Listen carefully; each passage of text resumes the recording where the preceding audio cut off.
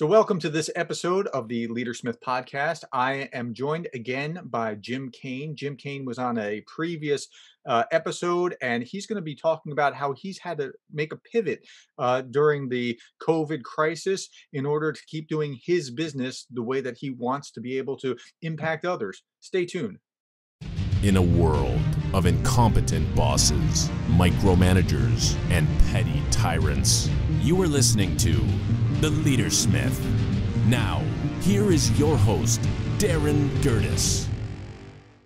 Okay, so Jim Cain is with us again, and Jim, uh, he's the author of 21 books. Uh, he's he's a trainer. He'll go and and uh, either do things outside, uh, outdoors, or at a corporate retreat. But everything is interactional for him, and that was the case until COVID hit. And now he has to adjust. Now he has to pivot because if everything that you do depends on interacting with others and having to move around and do activities, that's got to be a tricky thing to do virtually, right? It was initially. In fact, Darin, if you had asked me in February if I would lead a virtual event, I probably would have turned down the offer and pointed you towards people who were more well versed in this this field. So tell me what happened. Like, tell me about what you were doing. Like, describe so that people understand how uh, experience based everything was. Uh, tell us that first, and then how we had to pivot. Prior to COVID, um, I work in a very um, interesting field of experiential learning. We, we learn by doing. Some mm-hmm. people uh, look at things like ropes courses or team building programs or outdoor adventure. Um, quite frankly, I'll use any technique I can. I'll use a group cooking project to get people to work together and make something positive happen. But I work mostly in the team building field. Um, and in early March this year, I actually spoke at a major conference. We had 60, 80 people in person in a, in a small room interacting with each other and had a brilliant experience. Um, and just about a week later, I came back from a, an experience and everything stopped. I, I, had a trip to Iceland planned to do some training there. I had some international events this year, a series of staff trainings, and literally everything stopped overnight. And I said, okay, well, what needs to happen now is the only way to move beyond um, this idea of doing in person training is to do something um, that's not in direct contact. And mm-hmm. luckily, we had resources like Zoom and WebEx and a lot of the uh, computer-based programs, um, FaceTime, WeChat, all those type of things uh, were available. It's nice that that technology preceded the need for it. I mean, wasn't that on time, right? I mean, kind of thinking, you know, I, I, don't know why we need this, but okay, it's there. Well, guess what? We we really needed it. So I got together with a group of friends that was started by a guy named John Berkeley in North Carolina, and uh, a guy named John Losey in California and we created what we called a virtual facilitation practice group. We okay. said, okay, we don't know much about this virtual stuff yet. Let's find out and let's actually practice. So we put people in Zoom rooms and online, and people would bring stuff in. And they'd say, okay, I, I want to try this activity. And they would take something from the real world and they would transition it to the virtual world. Mm-hmm. Some things like icebreakers transition pretty easily, but a ropes course experience, uh, it's not so easy to do. So we looked at things we could do that were very visual, that would easily translate, and people began the process of practicing. Well, after about two months, we got to be reasonably good. And and here was the question that was being focused by most of the corporate world. They said, okay, we can't get together in real life, so what can we do? And they were open to any of the possibilities. And some people got to the point where they practiced using virtual techniques, and that became the possibility. And they got better as they practiced. The same way when we first started facilitating team building in real life, we got better as we practiced. So, can you give me an example of something that translates and maybe something that doesn't? Okay. Um, as I mentioned, a ropes course experience or something that's extremely physical doesn't necessarily translate, but I can get people up out of their seats and interacting. Communication does. So, group problem solving, if we can all look at one screen that shows the puzzle, so to speak, and the rest of us can all see it, we can offer ideas and that can be manipulated. So some things can happen on screen. In fact, um, here let me let me just give you a quick example of one that's uh, that's really kind of fun. I'm going to put this on here and I'll share a screen just quickly so you can see it. This one is really simple. I put a rope on the ground and I asked people if I pulled the ends of the rope, would it form a knot or a straight line? So it's a visual puzzle. And this particular That's configuration tends to get people on both sides. If I pull the ends where the blue arrows are, it's in a knot or is a straight line. So this is something I do in the real world that I can also use as a graphic in the virtual world. And then I have a video of this that I can actually show myself pulling it. If you had a third camera in your particular um, presentation software, you could do it in real time in front of groups. But Yeah, that's an activity where we try to get people to make a decision. What are you trying to teach with that knot rope pull question?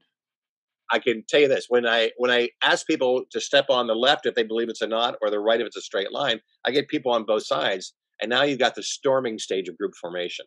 Great. Yeah. So now you can start to see, well, different people have different perspectives. and we need to build consensus. So how do we get everybody on the same line? And what I do is I partner a person from the right and the left, not straight line, and I Uh-huh. make them work as a team, and then they have to come to consensus individually.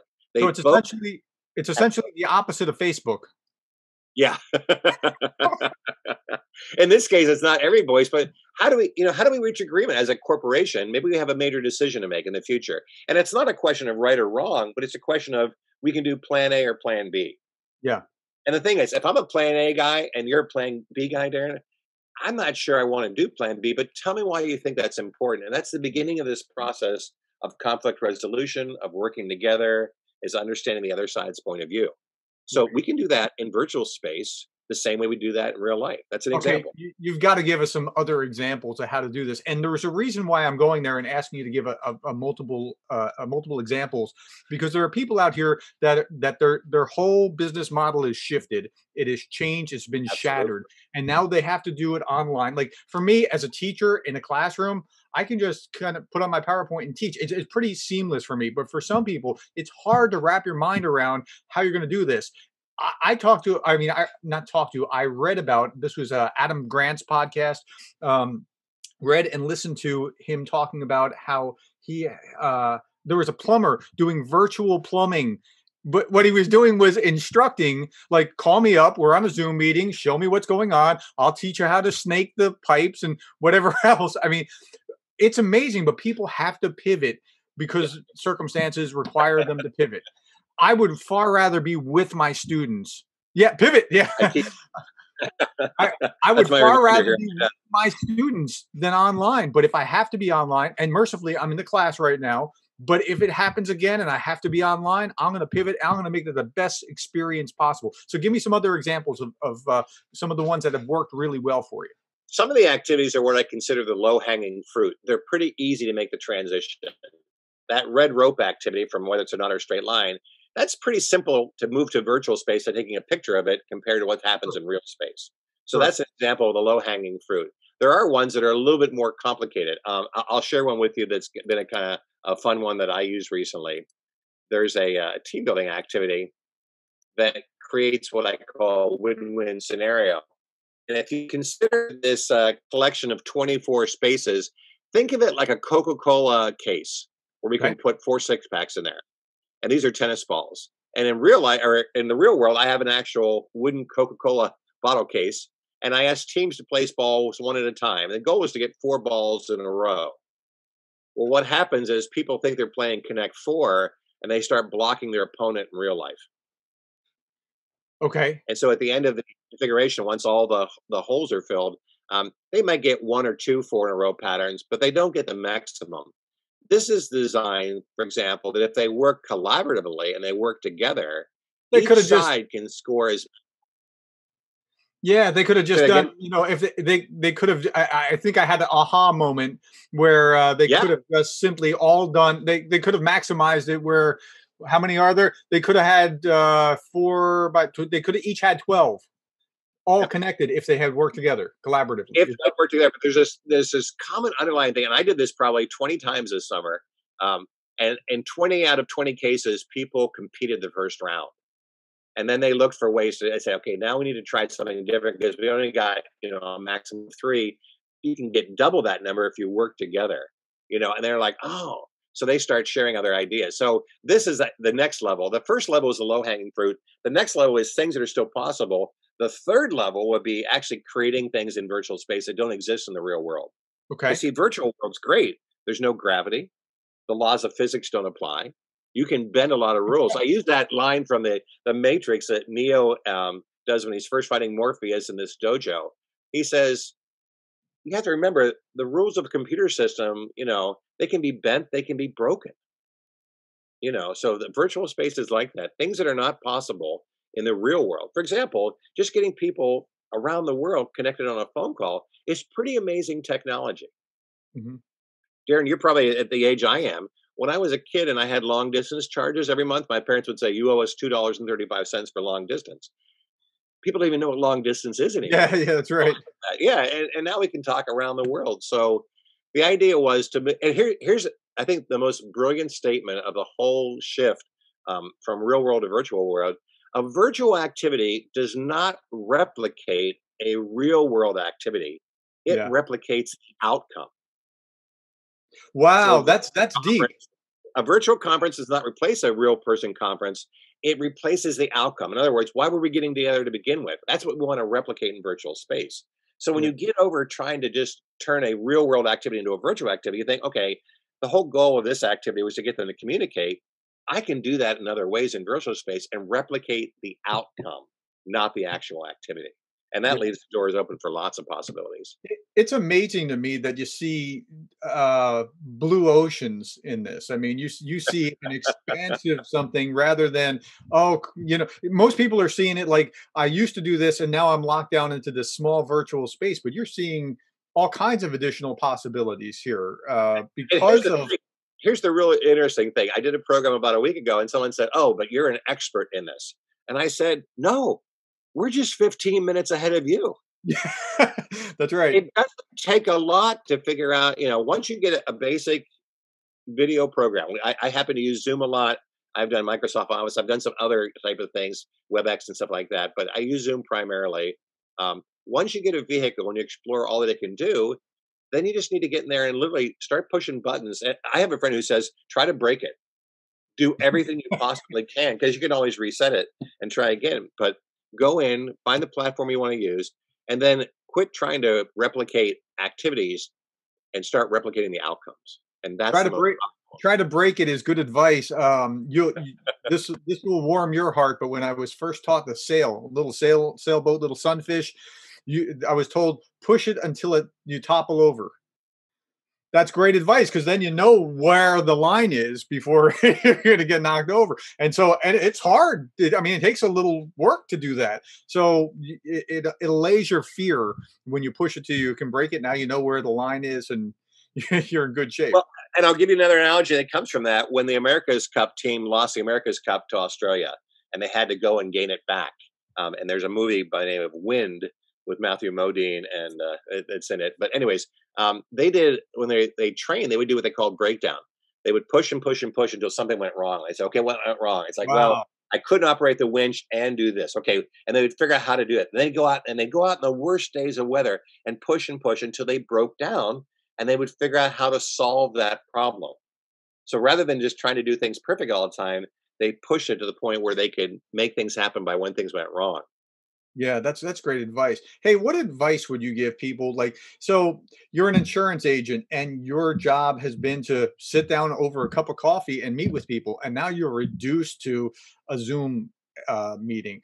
What advice would you give to these professionals who are now in stuck in? I mean, because you really have overcome far more than they have, right? I And so, so uh, is there a mentality advice or or some kind of um, additional advice that you can can provide them? One of the first phrases that I learned was connection before content.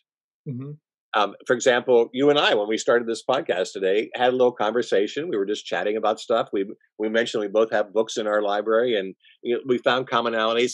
That connection is important because literally, I- I don't know who the person is on the other side of the screen. Right. So finding out that they have empathy for me, or they know something about me, I know something about them, creates a level of contact. Maybe it's not the same that you would get in an in person, but it's all we have. You know, people use the phrase, "If I had a choice, I would always choose an in person interaction." Sure. Yeah. This is what we have to work with. So for people who have to, you know, try to create virtually what they did in the real life is don't forget about the connection before content piece. Before you get into the meaning and the reason for this meeting, let's interact with people just a bit. Yeah.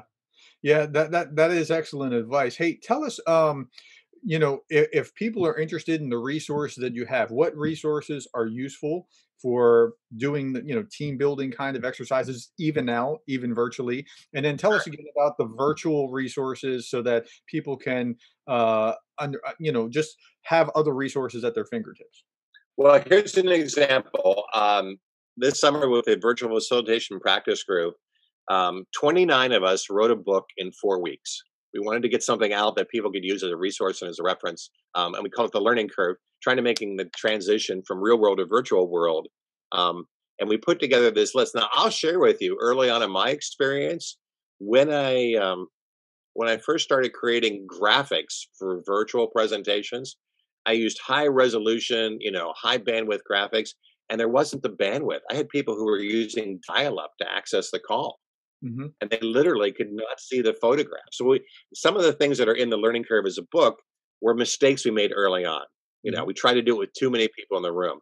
Team building virtually, I would say six to eight people is the optimum size. You start getting 25 people, you'll never hear some of them. You can do icebreakers, you can do other group activities with them, but part of team building and that work is to get people to communicate and to hear the voices in the room. And once you get above about 10 people on a call, you really can't hear all the voices. So if you if you have to have a large group, break them into breakout groups if you if you have that accessibility or something. Is that is that what I'm hearing? Yeah, or just organize the event. So here's when I worked with one company this summer, they had about 120 employees. We did 14 different workshops for mm-hmm. 90 minutes each. Because wow. then we can have six to eight to 10 people in one workshop. 120 would just be you could have an experience. I'm not saying you can't do large groups. I, I did a group of 150 at a university recently, but it's a different scenario. It, it plays differently. You won't get the bonding you do with that many people in a virtual format. I understand. So same, same in the classroom. You, I mean, yeah. you can really minister to so many people at a time in, in a real deep way where you can get into their experiences and, and cold, you know, what is important to them. That's right. And maybe here's the best advice don't be afraid to make mistakes you know, I, I when I did this first, we did a pilot session for the first team building program I did virtually, and these high resolution graphics just crashed. So mm-hmm. instead of having this three dimensional, beautifully rendered tennis ball, I made a yellow circle, and it did exactly the same thing, and and, and it, it, met the needs of the group. So we I learned by making mistakes, and if you're afraid to make mistakes, the virtual world is not a good place to be because you're gonna almost every session I've done, something went wrong. People lost power you know the, the signal dropped the wi-fi bandwidth you know diminished um, somebody didn't get a resource they needed. You know that's that's an upside. You were talking about the upside of you don't have the limits of time and space like the matrix but another upside is you shouldn't be afraid to like okay uh, be- before this i was talking about hey i gotta go tell my kids to be quiet but you know honestly if they're screaming in the background okay. I mean we recognize that I'm not a professional in a studio, like you know, being ho- yeah, I'm not hosting the Tonight Show. Even the Tonight Show, or what is it, the Daily Show, is in the guy's home, or right? I mean, it's we we're we're we can be more comfortable with being more comfortable now. Where in February we wouldn't have thought that way, but as of March, wow, we're all kind of doing that. So it just it just changes the dynamic significantly to realize like you know this is where we are. This is my home office. It's uh, you know it's not perfect. So yeah that that's that's good stuff. I always encourage new facilitators the number one hint i give people is to be authentic to be themselves. Not to try to replicate you know try to be like another person or i learned this activity from so and so so i teach it exactly the same way. This, this is pretty authentic. This, this is who i am. I can see a lot about who you are, Darin. And I think just sharing that part with your people and maybe to some extent being a little vulnerable to your audience. And when things go wrong, and say, oh, that didn't work, you know, and just owning it and moving on. But people seem a little more forgiving than they would for a professionally formatted event um, where you expect, you know, right. yeah, that's what I mean. Exactly. You know, our humanity comes out. that's right. So, so tell me, um, how has the pivot been? Like, you had to pivot. We we didn't want to do virtual, but virtual has to be the way. So how's that been compared to where you were before? Uh, now we have a few months under our belt, right? Because you know uh, this is better than half a year now since we had to pivot. What's that been like? Has it been as successful, partly successful? Is it do you, do you see it becoming more potentially successful, or when when we when it lifts, being able to do both wings now? Probably this is kind of a, a specific issue for me is a lot of people are able to do a virtual thing, but haven't figured out how to monetize it. In other words, they were paid as a facilitator, as a teacher, as a trainer, right? But the ability to do this and make an income, especially for people nowadays who maybe don't qualify for unemployment or you know federal funding and things like this, they want to find a way to make you know a living for themselves and their families. Um, that can be challenging. Yeah. Um, so, in your line of work, or you're able to do this? Has it has it been ever? Has it been what you would hope it would have been? I mean, or are you still working at it and trying to make it make it fly? I don't think anybody gets to the point that they can say, "Okay, I've learned enough. I'm ready. I'm done." You know, I'm I'm I'm a master facilitator in virtual space. Mm-hmm. Because uh, here's an example: Zoom is now going to pour Mural into their they they call it a Zap. It's a Zoom app, um, okay. and now Mural is going to be part of Zoom, and you'll be able to do it internally. Software is going to get better. New resources are going to continue to emerge, and with them comes capabilities of things we can't do currently. For example, um, a digital signature. How do you sign off on something in virtual space? You know, the, the, our abilities to do that are going to increase and grow. Yeah. So you're you're hitting a moving target. It's yeah, going to continue to expand. Yeah, I, I, saw this too, where you know you, you, said earlier in February you would never thought of doing this. So I have this extra hat at, at uh, Charleston Southern where I teach, where I'm the director of instructional technology, which means if you have a problem teaching online, you come see me, and uh, you know I help you with it. So normally what I would do is they'd send me an email, I'd drop what I'm doing, go over to their office, work the thing out, and voila, they're happy. It wasn't that hard but it changed, right? And then I was like slammed for the for you know until the end of the major semester, and then it eased up in the summer. But what I learned in that short couple months was we we made like three, maybe four years worth of progress in three months. right? I mean, it sure. would be like pulling teeth to get them to come to a training before, and now they're tell me what I need to do. I I, I want to learn. I you know help me with this. And so they, we learned by we grew by leaps and bounds um, because we were forced to. And um, it, it's a it's a high cost way of doing it, but we we've grown a lot, and, and uh, I think this the new normal is going to be even if everything lifts. If you got a a pill tomorrow that would make everything go away, we still like I still kind of dig going to church in my living room, like watching it on TV. I mean, yeah, I, I still don't like talking to the Domino's guy um, if I can avoid any contact at all. I so you know I think there's going to be a lot of change like that where society has now shifted and we have to adjust to this new normal and those that are proactive like you and those people that did this with the virtual stuff they're going to be the ones that are successful. It's the laggards that are going to have a hard time catching up because these these uh, early adopters like you are going to be very very successful. I actually use the popcorn analogy. You know, the first kernels that pop are the early adopters. Uh-huh. There's a bunch of people kind of in the middle. There's a few that do it right at the very end. They, they kind of wait to make their decision until there's no other choice. And some never pop. They they never convert from real world to virtual world. Um, yeah. and, and here's probably a phrase that we can look forward with, and maybe this is the important quote for this podcast. Um, we can't put the genie back in the bottle. Yeah. Now that we've been exposed to virtual, if you were a corporate leader in two years and you said, well, you know what, we could pay for everybody to fly to that, but that's like 300 people. Why don't we just do a virtual event? You know, the cost benefit. So I believe virtual is going to continue to be with us. Will it be with us as much as it is now once we're allowed to do real world? No, I think real world events will take place. Yeah. But I don't know that we're going to revert back to the way it was before. If before we were 90% real world, 10% virtual, and now we're about 90 plus percent virtual, I don't think we're going back to the way it was before. But I think both of those will continue to go hand in hand. Or maybe, you know, we pull people together virtually. We do these hybrid events where we get the local people and then all the distant people come in virtually they're happy. They don't have to spend a thousand dollars on airfare to get there, and we still get the job done. So I mm-hmm. think it's going to be with us for a while. So my advice to wannabe virtual facilitators, teachers, or trainers is start practicing and making mistakes now because this is going to be around for a while.